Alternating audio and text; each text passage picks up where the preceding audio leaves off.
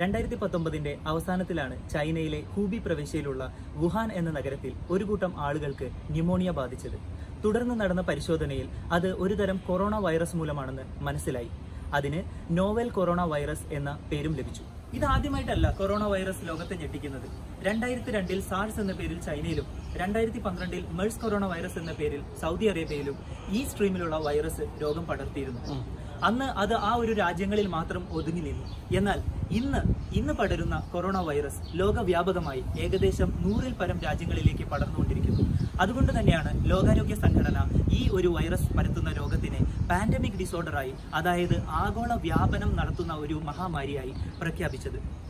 രണ്ടായിരത്തി പത്തൊമ്പത് ഡിസംബർ അവസാനത്തിൽ കണ്ടുപിടിക്കപ്പെട്ട ഈ ഒരു വൈറസിന് നോവൽ കൊറോണ വൈറസ് എന്ന പേര് ലഭിച്ചെങ്കിലും ഇപ്പോൾ അതറിയപ്പെടുന്നത് കോവിഡ് നയന്റീൻ എന്നാണ്. കോവിഡ് നയന്റീൻ എന്ന് വെച്ചാൽ കൊറോണ വൈറൽ ഡിസീസ് രണ്ടായിരത്തി പത്തൊമ്പത് എന്നാണ് അർത്ഥം. ഈ വൈറസിന്റെ ആകൃതി മൂലമാണ് ഇതിന് കൊറോണ വൈറസ് എന്നറിയപ്പെടുന്നത്.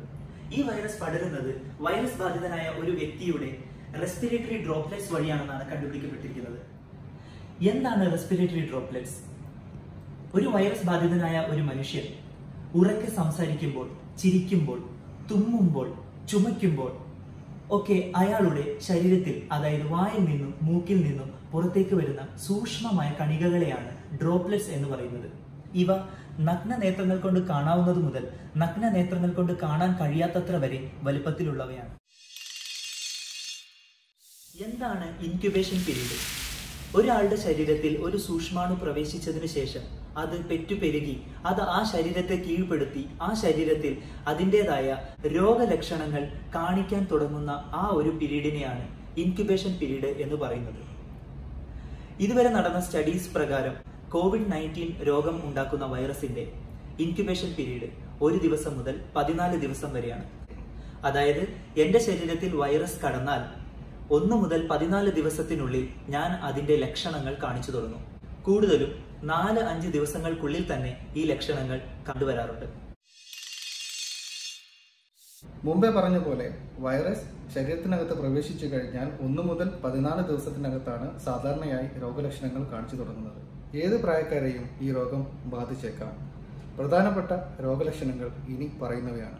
പനി ക്ഷീണം ചുമ വിശപ്പില്ലായ്മ ശരീരവേദന ശ്വാസതടസ്സം.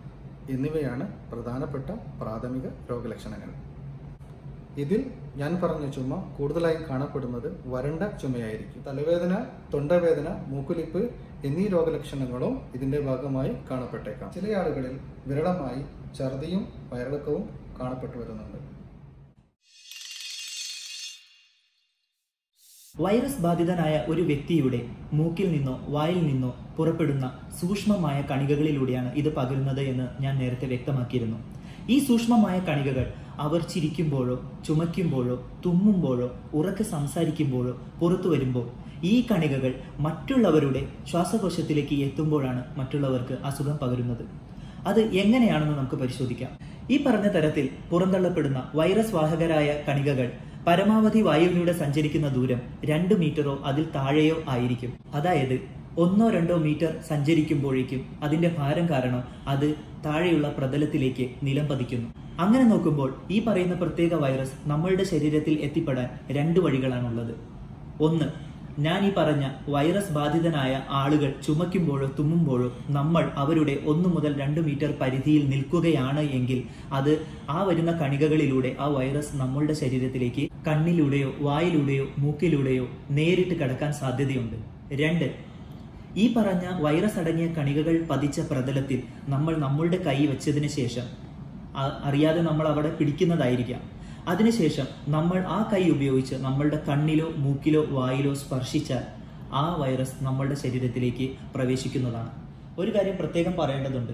ഈ വൈറസ് അടങ്ങിയ കണികകൾക്ക് വായുവിൽ അധിക നേരം തങ്ങി നിൽക്കാനാകില്ല. എന്നാൽ ഒരു ദുഃഖകരമായ കാര്യം എന്തെന്നാൽ അസുഖബാധിതനായ അല്ലെങ്കിൽ വൈറസ് ബാധിതനായ ഒരു വ്യക്തി വ്യക്തമായ ലക്ഷണങ്ങൾ കാണിച്ചു തുടങ്ങിയിട്ടില്ല എങ്കിൽ കൂടിയും അവർ അവരുടെ അസുഖം മറ്റുള്ളവരിലേക്ക് പകർത്താനുള്ള സാധ്യത വളരെയേറെയാണ്.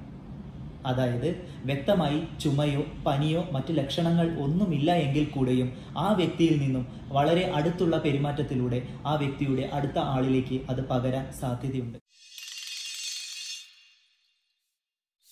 മറ്റുള്ള കൊറോണ വൈറസിനെ പോലെ തന്നെ കോവിഡ് നയന്റീന് വ്യക്തമായ ചികിത്സ ഇല്ലെങ്കിലും സപ്പോർട്ടീവ് ചികിത്സകളാണ് നൽകിക്കൊണ്ടിരിക്കുന്നത്. രോഗത്തിന്റെ തീവ്രതക്കനുസരിച്ച് തീവ്രത കുറഞ്ഞ രോഗമാണെങ്കിൽ രണ്ടാഴ്ച കൊണ്ടും തീവ്രത കൂടിയ രോഗമാണെങ്കിൽ മൂന്ന് മുതൽ ആറാഴ്ച കൊണ്ടും ചികിത്സിച്ച് ഭേദപ്പെടുത്താവുന്നതാണ്. സപ്പോർട്ടീവ് ചികിത്സ രോഗലക്ഷണങ്ങൾക്കനുസരിച്ചാണ്. ഉദാഹരണത്തിന് പനിയുണ്ടെങ്കിൽ പനിയുടെ ചികിത്സയും മറ്റു ശ്വാസകോശ അസുഖങ്ങളുണ്ടെങ്കിൽ അതിന്റെ ചികിത്സയും നടന്നു വരുന്നു. അതുപോലെ തന്നെ രോഗപ്രതിരോധ ശേഷി വർദ്ധിപ്പിക്കാനുള്ള ചികിത്സയും ഇതിന്റെ കൂടെ നൽകി വരുന്നു. അതുകൊണ്ട് തന്നെ ഈ രോഗം ബാധിച്ച ആൾ ആശങ്കപ്പെടേണ്ട യാതൊരു ആവശ്യവുമില്ല. ഈ രോഗത്തോടു കൂടെ മറ്റെന്തെങ്കിലും അസുഖമുള്ള ആളുകളാണെങ്കിൽ മാത്രമേ രോഗത്തിന്റെ അവസ്ഥ കൂടുതൽ വഷളാവുകയുള്ളൂ. പടരുന്ന എല്ലാ അസുഖങ്ങളെ പോലെ തന്നെയും ഈ ഒരു കോവിഡ് നയന്റീൻ പകരാതിരിക്കാൻ നമ്മൾ ഏറ്റവും ആദ്യം ശ്രദ്ധിക്കേണ്ടത് കൈ കഴുകുന്നതിലൂടെയാണ്. എങ്ങനെ കൈ കഴുകണം? എപ്പോൾ കൈ കഴുകണം? കൈ കഴുകാൻ ഉപയോഗിക്കേണ്ട വസ്തു എന്താണ്? ഇതൊക്കെയാണ് ഞാനിപ്പോൾ പറയാൻ പോകുന്നത്. നമ്മൾ എന്തുപയോഗിച്ചാണ് കൈ കഴുകേണ്ടത്? കൈ കഴുകാൻ നമുക്ക് രണ്ട് ഓപ്ഷൻസ് ആണ് ഉള്ളത് ഒന്ന് നമ്മൾ സാധാരണ ഉപയോഗിച്ചു വരുന്ന സോപ്പ്. വെള്ളവും സോപ്പും ഉപയോഗിച്ച് മിനിമം ഒരു ഇരുപത് സെക്കൻഡ് എങ്കിലും കയ്യിൽ സോപ്പ് പടരുന്ന രീതിയിൽ നമ്മൾ കൈ കഴുകുക. കൈ കഴുകുമ്പോൾ പ്രത്യേകം സൂക്ഷിക്കേണ്ടത് നമ്മളുടെ കൈയുടെ എല്ലാ ഭാഗങ്ങളിലും സോപ്പ് എത്തുന്നുണ്ട് എന്ന് പ്രത്യേകം നോക്കേണ്ടതുണ്ട്. കൈ വൃത്തിയാക്കാനുള്ള മറ്റൊരു ഉപാധിയാണ് ഹാൻഡ് സാനിറ്റൈസറുകൾ ഉപയോഗിക്കുക എന്നുള്ളത്. ഇന്നത്തെ കാലത്ത് വളരെ സുലഭമായി എല്ലാ മെഡിക്കൽ സ്റ്റോറുകളിലും ലഭിക്കുന്ന ഒന്നാണ് ഹാൻഡ് സാനിറ്റൈസറുകൾ ഒരു മിനിമം അറുപത് ശതമാനത്തിൽ കൂടുതൽ ആൽക്കഹോൾ കണ്ടന്റുള്ള ഹാൻഡ് സാനിറ്റൈസറുകളാണ് നമ്മൾ ഉപയോഗിക്കേണ്ടത്. എപ്പോഴൊക്കെ നമുക്ക് കൈ കഴുകേണ്ടതുണ്ട് അല്ലെങ്കിൽ കൈ വൃത്തിയാക്കി വെക്കേണ്ടതുണ്ട്? പ്രത്യേകിച്ച് പൊതുവായ ഏതെങ്കിലും ഒരു സ്ഥലത്ത് നമ്മൾ ചെന്നാൽ അവിടെയുള്ള പ്രതലങ്ങളിൽ നമ്മൾ അറിയാതെ കൈ തൊട്ട് കഴിഞ്ഞാൽ അതിനുശേഷം ആ കൈ നമ്മൾ കഴുകാതെ നമ്മളുടെ കണ്ണിലോ മൂക്കിലോ വായിലോ സ്പർശിക്കുവാൻ പാടുള്ളതല്ല. നമ്മൾ പൊതുവായി ഒരു സ്ഥലത്ത് പോയതിന് ശേഷം വീട്ടിൽ വന്നാൽ ഉടനെ തന്നെ കൈ കഴുകിയിട്ട് വേണം ബാക്കി കാര്യങ്ങളൊക്കെ ചെയ്യാനായിട്ട്. ഞാൻ പറഞ്ഞതുപോലെ കൈ കഴുകുമ്പോൾ സോപ്പും വെള്ളവും അല്ലെങ്കിൽ സാനിറ്റൈസർ ഉപയോഗിച്ച് വളരെ നന്നായി കൈയുടെ എല്ലാ പ്രതലങ്ങളിലും എത്താൻ പാകത്തിന് വേണം വൃത്തിയാക്കാനായിട്ട്. മറ്റു സാഹചര്യങ്ങളിൽ എപ്പോഴൊക്കെയാണ് നമ്മൾ കൈ വൃത്തിയാക്കി സൂക്ഷിക്കേണ്ടത്? നമ്മളുമായി ബന്ധപ്പെട്ടതോ അല്ലെങ്കിൽ നമ്മളുമായി ഏറ്റവും അടുത്തുള്ള ആളുകളുമായി ബന്ധപ്പെട്ട എന്ത് കാര്യം ചെയ്യുന്നതിന് മുന്നേയും ശേഷവും നമ്മൾ കൈ വൃത്തിയാക്കുവാൻ പ്രത്യേകം ശ്രദ്ധിക്കണം. ഭക്ഷണം കഴിക്കുന്നതിന് മുന്നേ ഭക്ഷണം കഴിക്കുന്നതിന് ശേഷം. ആഹാരം പാകം ചെയ്യുന്നതിന് മുന്നേ ആഹാരം പാകം ചെയ്യുന്നതിന് ശേഷം. നമ്മളുടെ കുട്ടികളെ നമ്മൾ കെയർ ചെയ്യുന്നതിന് മുന്നേ കുട്ടികളെ കെയർ ചെയ്തതിന് ശേഷം. നമ്മൾ ടോയ്ലറ്റിൽ പോയതിന് ശേഷം. നമ്മൾ അതുമായി ബന്ധപ്പെട്ട ക്ലീനിങ് പ്രതലങ്ങൾ ശുദ്ധിയാക്കുക അങ്ങനെ എന്ത് തന്നെ കാര്യം ആയിക്കോട്ടെ നമ്മൾ അത് ചെയ്തതിന് ശേഷം നമ്മളുടെ കൈ സോപ്പിട്ട് വൃത്തിയാക്കുക എന്നുള്ളത് വലിയൊരു ഉത്തരവാദിത്വമാണ്. കൂടാതെ വളർത്തു മൃഗങ്ങളുമായിട്ടുള്ള ഇടപെടലുകൾക്ക് ശേഷവും നമ്മളുടെ കൈകൾ വൃത്തിയാക്കി സൂക്ഷിക്കേണ്ടതാണ്. കോവിഡ് നയന്റീൻ രോഗവ്യാപനം തടയുന്നതിന് നമ്മൾ ശ്രദ്ധിക്കേണ്ട മറ്റൊരു പ്രധാന കാര്യമാണ് തുമ്മുമ്പോഴോ ചുമക്കുമ്പോഴോ പാലിക്കേണ്ട മര്യാദകൾ. തുമ്മുമ്പോഴോ ചുമക്കുമ്പോഴോ ടിഷ്യൂ പേപ്പറോ ഹാൻഡ് കർച്ചിഫോ വെച്ച് നിങ്ങളുടെ മൂക്കും വായും പൊത്തുക. അതിനുശേഷം ടിഷ്യൂ പേപ്പർ കളയാനും കൈ വൃത്തിയാക്കാനും ഒരിക്കലും മറക്കരുത്. അഥവാ നിങ്ങളുള്ള സ്ഥലത്ത് ടിഷ്യൂ പേപ്പറോ ഹാൻഡ് കർച്ചിഫോ ലഭ്യമല്ല എന്നുണ്ടെങ്കിൽ ഇതുപോലെയുള്ള മര്യാദ പാലിച്ച് നിങ്ങൾ ചുമക്കുകയോ തുമ്മുകയോ ചെയ്യുക. മറ്റു ചില പ്രധാനപ്പെട്ട കാര്യങ്ങൾ. അനാവശ്യമായി ആൾക്കൂട്ടങ്ങളിലേക്കോ പൊതുസ്ഥലങ്ങളിലേക്കോ പോകാതിരിക്കുക. നിങ്ങൾക്ക് എന്തെങ്കിലും അത്യാവശ്യമുണ്ടെങ്കിൽ മാത്രം വീട്ടിൽ നിന്ന് പുറത്തിറങ്ങി ആൾക്കൂട്ടങ്ങളെ അഭിമുഖീകരിക്കുക. പ്രത്യേകിച്ചും വായു സഞ്ചാരം കുറഞ്ഞ മുറിയിലുള്ള ആൾക്കൂട്ടങ്ങളിലേക്ക് കഴിവതും പോകാതിരിക്കുക. കൂടാതെ ആരെങ്കിലും അസുഖബാധിതരായി എന്ന് നിങ്ങൾക്ക് സംശയം തോന്നുന്നുണ്ടെങ്കിൽ ആ വ്യക്തിയുമായിട്ടോ ആ കുടുംബവുമായിട്ടുള്ള അടുത്ത ഇടപെടലുകൾ കഴിയുന്നതും ഒഴിവാക്കുക. നിങ്ങൾ വീട്ടിലോ ജോലി സ്ഥലത്തോ ഓഫീസിലോ എവിടെയായാലും തുടരെ തുടരെ ആളുകൾ തൊടുന്ന പ്രതലങ്ങളും തുടരെ തുടരെ ആളുകൾ ഉപയോഗിക്കുന്ന വസ്തുക്കളും നിശ്ചിത ഇടവേളകളിൽ ഡിസിൻഫെക്റ്റന്റ് ഉപയോഗിച്ച് വൃത്തിയാക്കേണ്ടതാണ്.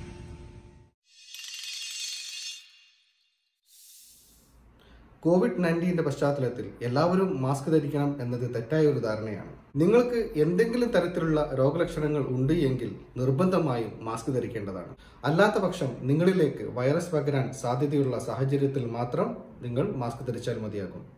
ഇനി എൻ നയന്റി ഫൈവ് മാസ്കിനെ പറ്റി പറയാം. സാധാരണ പൊതുജനങ്ങൾ എൻ നയന്റി ഫൈവ് മാസ്ക് ധരിക്കേണ്ട യാതൊരു ആവശ്യവുമില്ല. ആവശ്യഘട്ടങ്ങളിൽ മാത്രം സിമ്പിൾ സർജിക്കൽ മാസ്ക് ഉപയോഗിച്ചാൽ മതിയാകും. കോവിഡ് നയന്റീൻ നമ്മൾ ഉദ്ദേശിക്കുന്നതിലും വേഗത്തിലാണ് ലോകം മൊത്തം പടർന്നു പിടിക്കുന്നത്. മുമ്പേ പറഞ്ഞ പ്രതിരോധ മാർഗങ്ങൾ എല്ലാം തന്നെ പാലിക്കേണ്ടത് എന്റെയും നിങ്ങളുടെയും നമ്മളടങ്ങുന്ന മുഴുവൻ സമൂഹത്തിന്റെയും ഉത്തരവാദിത്വമാണ്. കാരണം നമ്മുടെ ആരോഗ്യം നമ്മളുടെ കൈകളിലാണ്.